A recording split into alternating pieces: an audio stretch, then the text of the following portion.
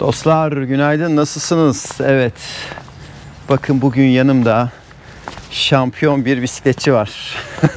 evet bakın böyle hem dağ bisikleti hem yol bisikletiyle birlikte böyle geldik. Bugün yine çok güzel bir antrenman bizi bekliyor. Saatlerimize bakıyorum. Saatimiz de evet 6.23 geçiyormuş. Yine erken bir saatte başladık. Efendim. Agiç'im ne diyeceksin bugünkü antrenman için? Valla bugün herhalde İstanbul'un en zor yokuşunu çıkacağız. Değil mi? Bebek Etiler yokuşu. Yalnız ben daha önce hiç profesyonel bir bisikletçiyle binmemiştim. Ben de bir e, YouTuber'la bilmemiştim. Benim için de bir ilk olacak. evet evet benim için gerçekten e, ciddi bir challenge olacak. Bakalım evet birazdan yola koyulalım. E, yine sizlerle bir araya geleceğiz. Hadi bakalım. Görüşmek üzere. Görüşürüz. Hop. Hadi bakalım. Let's go. Haydi bakalım.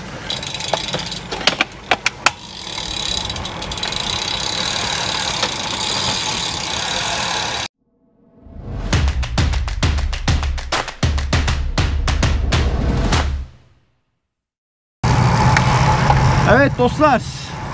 Agit'le yola çıktık.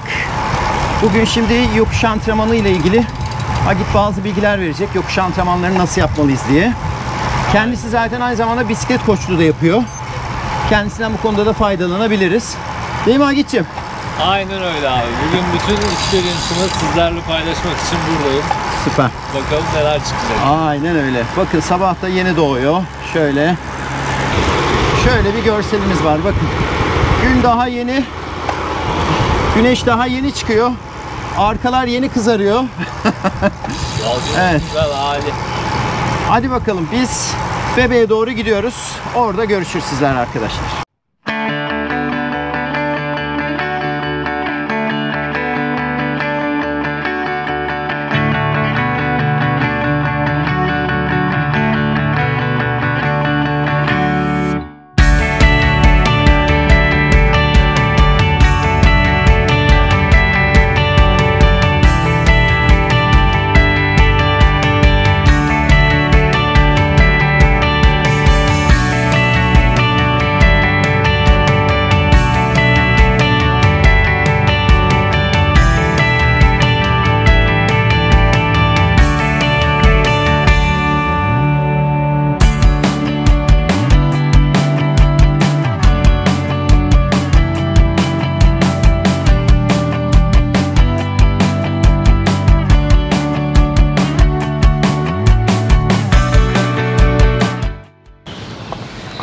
Dostlar şimdi Etiler yokuşuna doğru geldik. Agit yanımda.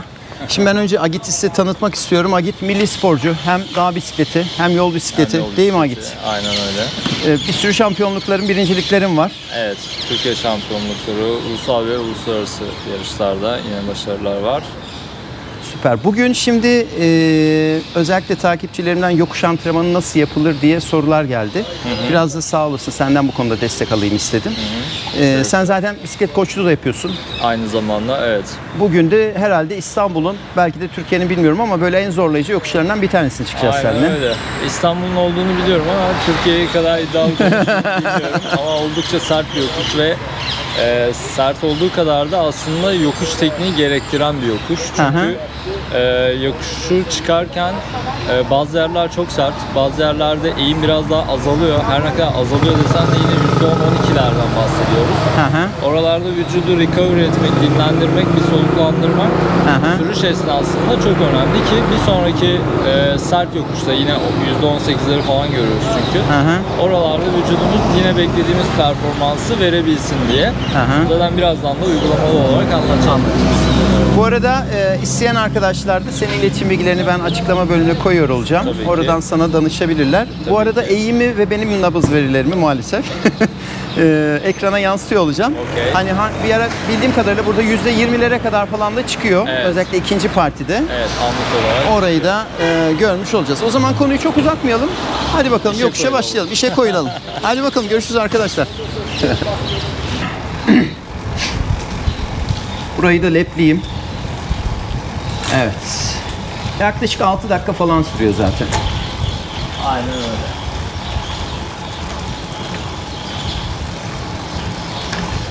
Evet dostlar başladık yokuşu. Buralar tabi yokuşun eğimin Buralar yüzdesi az olduğu yerler. Evet. tabi daha Garmin henüz buradaki yokuş hissetmedi.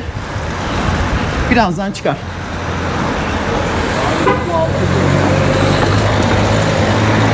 Evet. Açımıza da bakalım. Tam yokuşa başlamadan önce.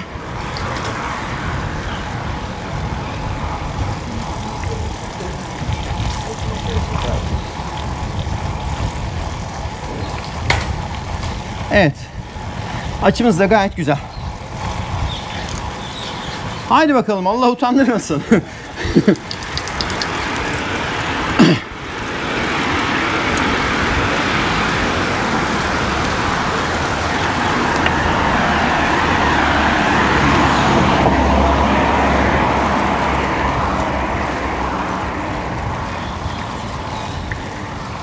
Bu çıkarken sesim iyi çıkacak mı emin değilim ama bir Hı şeyler hı. anlatmaya çalışayım ben. Olur. yine. Tabii ki. Yokuş yukarı çıkarken insanlar hep bacağa konsantre olurlar yani. Evet. Bacak gücümüzle çıktığımızı düşünürler ve Evet. kilomuzla. Kilo tabii ki de bir faktör. Bacağımızın güçlü olması yine aynı şekilde. Evet.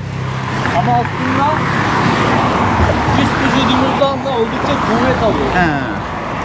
Eğim dikleştikçe bisikletin önü havalandığı için Evet. belli bir açıya geldiği için bisiklet sizi üzerinden geriye doğru itiyor. Siz de bu esnada geriden bastığınız için aslında güç kaybı yaşıyorsunuz. Ha. Bunun olmaması için üst vücudunuzun güçlü bisikletin senesinin ucunda oturacak şekilde Ha. çıkmanız gerekiyor ki vücut pozisyonunuz doğru olsun.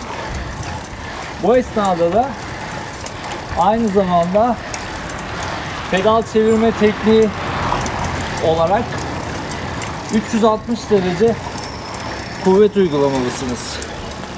Yani sadece basmak değil.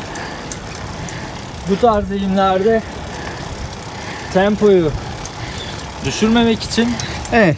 bacağınızdaki bütün kasları en iyi şekilde kullanmanız lazım. Bu arada Nabız kaç? %18 118. çıkıyorduk. Evet. Ben bunları anlatırken şu an nabzım 160 tabi. Vay. Benim 159 geçtim seni. Tabii konuşun bir desen. Evet. Videonun başında da anlatmıştım. Hı hı. Bazı eğimler azalıyor. Hı hı. Şu an mesela %18'den 12'ye düştük. Hı hı.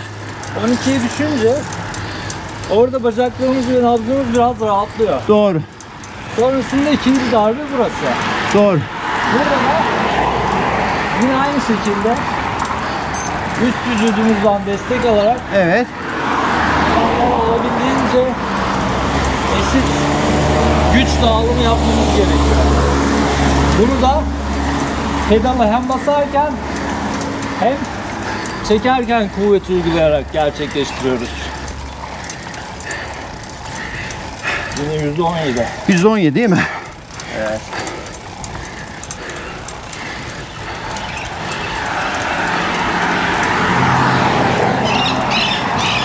Ben senin GPS verilerini alayım. Şey için. Takipçiler senin nabız hareketlerini görsün. Hiç fark etmez. Olur.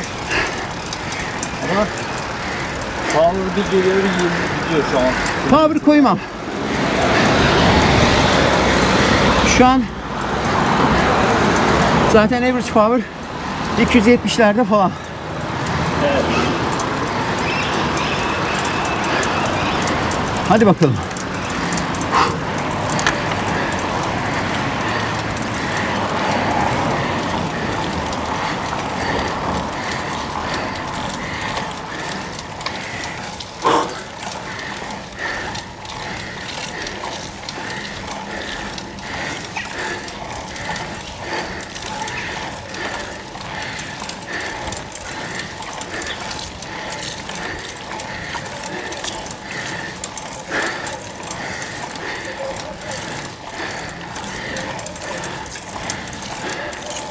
Geldik sanırım.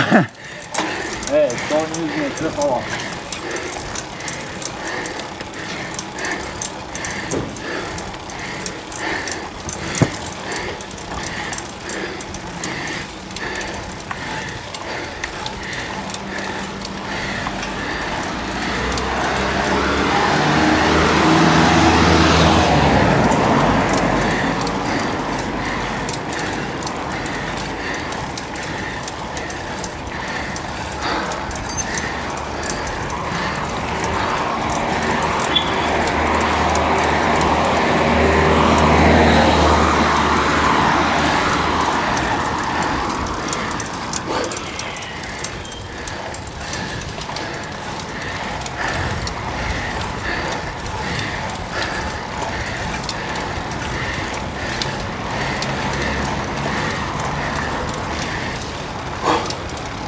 Evet.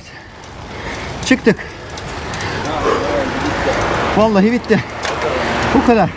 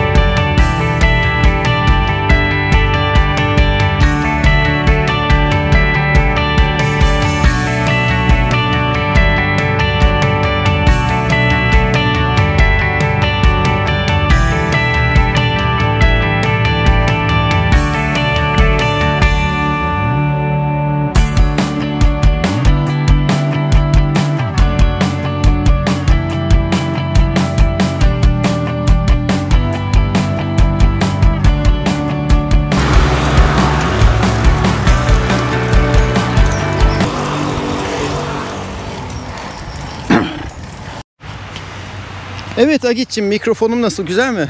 Gayet şık abi. Kullanışlı, küçük. Evet e, böyle action kameralar için, action hayat için böyle küçük mikrofonlar lazım. Kesinlikle. Peki şimdi öncelikle ayaklarına sağlık. Teşekkür ediyorum böyle kuş sesleri eşliğinde. Gerçekten öyle oldu. Ben teşekkür ederim bu güzel davetin için. Hı hı. Ben arkadaşı YouTuber zannediyordum ama bayağı yarışçı çıktı. Sahilde 40-40 geldik tempo yaparak. Değil mi? Bayağı da Ama ben hazırlandım. Bayağı hazırlandım. Sen de Evet, video çekeceğim diye. İlk son dakika haberleştik. doğru. Yoksa ben doğru. arkada geçecektim. Ben önden senin. hazırlandım valla. Peki e, Agit'ciğim tekrar çok teşekkür ederim. Şimdi bugün e, sert bir yokuş çıktık. Öncelikle hani yokuşta e, nasıl çıktık? Orada Hı hı. o yokuşu çıkmak isteyen arkadaşlar hani mutlaka ilgilenen insanlar olacaktır. Evet. Nelere dikkat etsinler. Sonra da e, sen zaten bisiklet koçluğu da yapıyorsun, program yazıyorsun. Evet. Özellikle e, çok kısa bir şekilde gerçi seninle iletişime geçmek isteyen insanlar mutlaka daha detaylıca konuşacaklardır ama Hı hı hı. e, kısaca hani bisiklet programlarında neye dikkat etmek lazım antrenmanlarında hı. nasıl programlamak lazım biraz da ondan bahsedersen izleyicilerimiz herhalde daha çok böyle e, Hı. sağlıklı bir bilgiye ulaşmış olurlar. Öncelikle yokuştan bahsedelim. Bugünün ana konusu yokuş olduğu için Evet. bu videonun da aynı zamanda. Ee, bebek yokuşuna örnek verecek olursak bebek yokuşu yaklaşık %6 %8 eğimle Aha. ilk 300 metresi o şekilde başlayan bir Hı hı. e, yokuş. Ardından direkt %18'lere vuruyor kendisini ve o da yaklaşık yine 300-400 metre kadar sürüyor. Ondan Hı hı. sonrasında %12'de bir nefes alacağınız bir 100 metrelik bir alan var. Hı hı. Orada kesinlikle basmamanızı öneririm. Orada biraz toparlanıp ondan Aynen. sonraki yine %17, %18'lik kısmı çıktıktan sonra zaten tepeye geliyorsunuz. Hı hı. Yokuşu bitiriyorsunuz. Ee, bu esnada dikkat edilmesi gereken şey yokuş çok dik olduğu için e, biz bisiklete binerken genelde quadriceps kaslarımızı kullanırız Hı daha çok. Ee, insanlar hep ön bacak, üst bacak e, kaslarını hissederler. Fakat bisiklet sporunda aslında kalça, quadriceps, hamstring ve kalf kaslarımız hepsi bir bütün halinde belden aşağıda çalışan kaslar bunlar. Fakat yokuş yukarı çıkarken de aynı zamanda yukarıdan destek almamız için Hı hı. e, kor bölgemizin ve kollarımızın Hmm. güçlü olması gerekiyor Hı hı. ki e, aldığımız gücü bacaklara aktarabilelim. Üst taraftan geçmesi lazım ki gücün bacaklara aktarılabilsin. Hı hı. Diğer türlü bacaklarınız istediği kadar güçlü olsun. Üst bölgeniz güçsüzse Evet. elinizi bırakarak yokuş çıkmak ne kadar zorsa Doğru. Doğru. kor bölgeniz zayıf olduğu zaman da yokuş çıkmak o kadar zor oluyor. hı. Dolayısıyla sadece e, özellikle biz hani ben dağ bisikleti de yapıyorum bunun yanı sıra. Hatta buradan dağ bisikleti programım Doğru. var. Oraya katılacağım. Ama özellikle yol bisikleti kullanıcıları üst vücudunu kullanmadıkları için genelde düz yolda binenler için özellikle söylüyorum. E, ve yokuş antrenmanı az yapanların günde en az iki defa jim yapmaları gerekiyor Hmm. üst kuvvet ve bacaklarını e, güçlendirmeleri için. Çünkü düz yolda binilen e, antrenmanlar kilometre geçmenizi sağlar. Hı. Bacağınızın, ka- ya kaslarınızın bisiklet sporuna adaptasyonunu arttırır. Fakat yokuşa vurduğunuz zaman orada daha farklı kaslar devreye girer. İşte o noktada da bizim jimde ağırlık kaldırarak kuvvetlendirdiğimiz kaslar veya sık sık yokuş antrenmanı Hmm. yapıyorsak yine aynı şekilde o kasları kullanırız ve onlar her zaman böyle e, yokuşa, zorluğa hazır olan kas gruplarıdır. Hı hı. E, onları da e, uyanık tutmak için e, haftada ya iki gün jim yapacaksınız Hı hı. ya da iki gün yokuş antrenmanı yapacaksınız. Hı hı. Yokuş antrenmanı da şöyle. e, eğer imkanınız varsa Kartepe gibi, Uludağ gibi örnekler vereyim. Uzun e, yokuş antrenmanı yapabilirsiniz. Bunun gelişimi çok daha e, uzun süreli, kalıcı, iyi bir şekilde Hmm. e, olur vücutta. Ama diğer türlü de İstanbul'da yapabileceğiniz en iyi şey bu tarz sert yokuşları e, inip inip çıkmak olur. O da bir nevi e, high intensity interval olur. E, hit antrenman olur. O da sizin yine gelişiminize e, katkıda bulunur. Peki e, özellikle Gran Fondo yapacak ya da böyle hani benim gibi orta ve üst seviyede bisikletçiler için haftada nasıl bir antrenman programı tavsiye edersin? Çok kısa. Bunlar çok detay biliyorum ama Yo, Hani böyle- böyle kabaca söyleyecek olursam ben öğrencilerime haftada iki gün endurance, iki gün e, interval ve iki gün gym olarak e, program giriyorum. altı Al, programdan haftanın altı oluşuyor. günü, Altı evet, gün. haftanın 6 günü antrenman yapıyorlar ve bir günü dinlenme sadece. Off. hı. Ee, o da duruma göre bazen o günde hafif soft recovery yani Hı hı. bir saat easy bisiklet, coffee ride Hı hı. dediğimiz şekilde de geçirmek isteyenler için de e, güzel bir toparlanma oluyor. Bunların yanı sıra Hı hı. e, sadece bisiklet ve kuvvet antrenmanlarının yanı sıra e, ben şuna e, dikkat çekmek istiyorum. E, mobilite ve stabilite antrenmanları vücut e, hem bisiklet duruşumuzda oluşturduğumuz o kasların e, sürekli kasılmasını açmamıza e, yarıyor. Hı hı. E, bunları uygulayabilirler. Bunlar da yokuş çıkarken işte bel ağrısı, kalça ağrısı e, gibi ağrıların azalmasına sebep olur. Hmm, bunu Aynı bilmiyorum. zamanda da e, kaslarınızı esnek tutmanız aslında sizin yaptığınız bir interval antrenmanı kadar önemli Hmm. gelişim Bunu açısından. bütün herkes söylüyor. Geçen Evet. hafta Utku da söylemişti. E, evet mesela. Yani çünkü e, siz interval yaparak, bisiklet antrenmanı yaparak ve gym antrenmanı yaparak aslında vücudunuzu sürekli strese sokuyorsunuz. Hmm. Ve bu stresi bir şekilde atmanız lazım Hmm. vücuttan. Hmm. Bunun en iyi yolu da antrenman öncesi yaptığınız mobilite, antrenman sonrası yaptığınız stretching hareketleri ve Hı. gym esnasında da yapacağınız stabilite hareketleri sizin bisiklet üzerinizdeki dengenizi e, hem geliştirecektir hem sürüşünüze konfor katacaktır hem de ayrıca performansınıza e, yardımcı olacaktır. Artış gösterecektir. Mutlaka esneme de önemli diyorsun. Kesinlikle Çok çok öyle. önemli. En az antrenman kadar. Tabii arkadaşlar biz şimdi akşama kadar konuşuruz. Ee, Burada Aynen tabii öyle. önemli bir nokta. e, Ben Agit'in iletişim bilgilerini de zaten e, mutlaka açıklama bölümüne koyacağım. E, Pop-up'lar şeklinde de zaten videonun çeşitli yerlerinde de on, e, Agit'in bilgilerine ulaşıyor olacaksınız. E, Bugün Agit'e tekrar çok teşekkür ediyorum. Bu bu konularla ilgili Agit'e ulaşmak isterseniz iletişim bilgilerini zaten açıklamaya koyacağım. Hı hı. E, Ben tekrar kendisine çok teşekkür ediyorum. Ayaklarına Ben sağlık teşekkür diyorum. ederim.